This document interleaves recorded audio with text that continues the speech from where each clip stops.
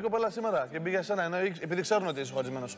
Τι θα κάνεις; Και να ξέρω ότι και εκείνη είναι 100% σε μένα, ρε φίλε. Δηλαδή δεν θέλω να ξεκινήσω κάτι το οποίο να τελειώσει σε δύο εβδομάδες.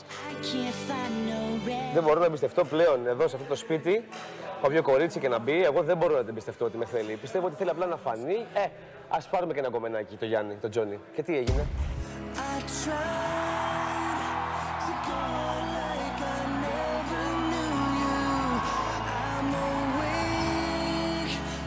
Από κοντά νομίζω ότι είστε πιο όμορφοι, παιδιά. Ναι. Ναι. Σας ευχαριστούμε πάρα πολύ.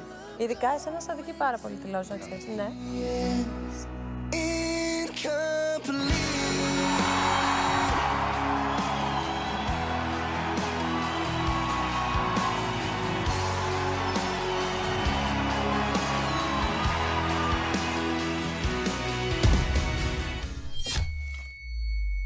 Αν έχεις να επιλέξεις, ας πούμε, παράδειγμα ανάμεσα στη Ρεγίνα και στη, στη- στη Ρεγίνα και στη Ρένια. Και η Ρένια μου βγάζει μεγα- μεγαλύτερη άνεση.